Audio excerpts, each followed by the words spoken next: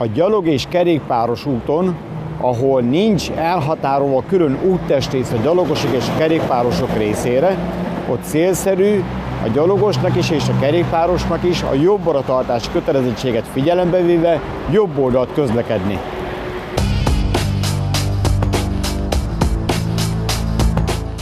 Gyalogosnak és kerékpárosnak egyaránt a jobb oldalt kell haladnia, mert máskülönben veszélyhelyzet alakul ki.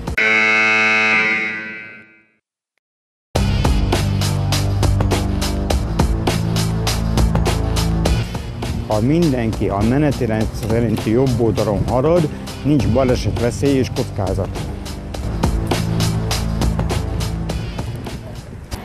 Az ingatlanról való kilépés előtt a gyalogosnak érdemes a saját biztonság érdekében jobbra és balra egyaránt szétnézni, nehogy egy ott közlekedő kerékpáros vétlenül elüsse.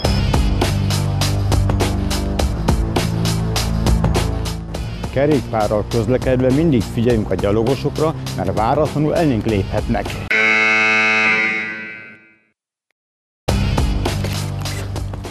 Szeretnénk felhívni a Püspökladány város központjában üzletekben tartózkodó személyek, gyalogosoknak a figyelmét arra, hogy amennyiben az üzletekből kikívánnak lépni szeretnének a kerékpárútra, illetve a járdára kijönni, előtte mindenféleképpen nézenek szét.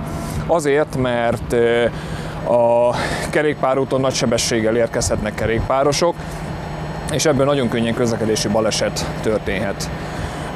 Felhívnám a gyalogosok figyelmét, hogy amennyiben valaki az üzletből kilép, és figyelmetlensége miatt közlekedési balesetet okoz, ha súlyos testi sértés történik a közlekedési baleset során, a gyalogos személy ellen büntetőeljárás indulhat. Miskolcon volt ebből halálos baleset, ahol egy hölgy a kapuajból kilépve nem figyelt, egy ott közlekedő futár, kerékpáros futár elütötte, és a hölgy a helyszínen meghalt a baleset következtében.